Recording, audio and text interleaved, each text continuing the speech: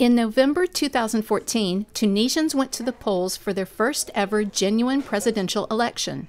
Vive la Tunisie! They revealed why voting is important. I am obliged to vote actually. If uh, it's my duty to my country, this is something that I have to do it. Why Carter Center observation efforts matter.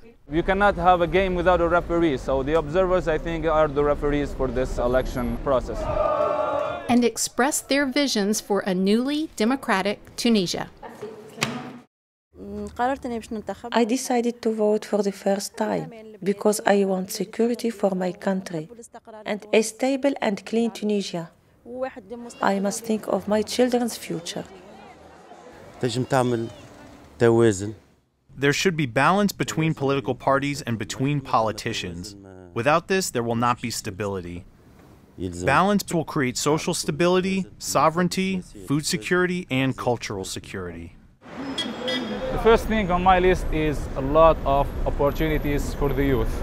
I'm a young man, and uh, this country is plenty of young men like me who has just finished university and who hope to have a lot of opportunities. We hope very much that our democratic transition will be successful and peaceful, with no blood, with no problems. And in time, the elected parties will respect our rights and respect their mandates, and we will practice democracy in Tunisia. My dream is that young people will be employed, and those who have left will come back and embrace the country.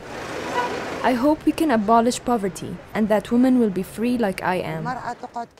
To go where I want and wear what I want without anyone telling me how to live my life.